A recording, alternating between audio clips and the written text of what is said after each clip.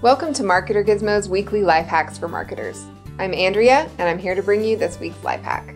This week's hack is about working smarter with the software we use every day. Control Z. Oops, I hit X. Control Z. Whew, that's better. Hotkeys can be super useful when you use the right one.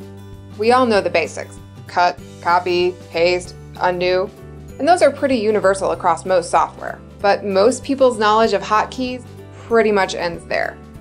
But if you're using specialized software, you have a lot more hotkeys available to you. So this week's life hack is learn those hotkeys. If you're using advanced software with tons of different tools and functions in them, working without hotkeys can be a huge waste of time. Knowing all, or at least the most important, of the hotkeys in any given software will help you use your time more efficiently. If you're having trouble remembering all those hotkeys, you can always download cheat sheets for yourself.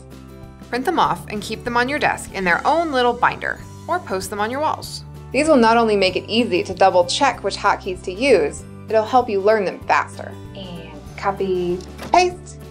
Oh hey, I'm gonna go get some coffee. Mind finishing up? Thanks a lot. No, I, I didn't want any coffee, but thanks for offering.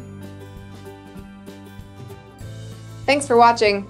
For more weekly life hacks for marketers, subscribe using the button below.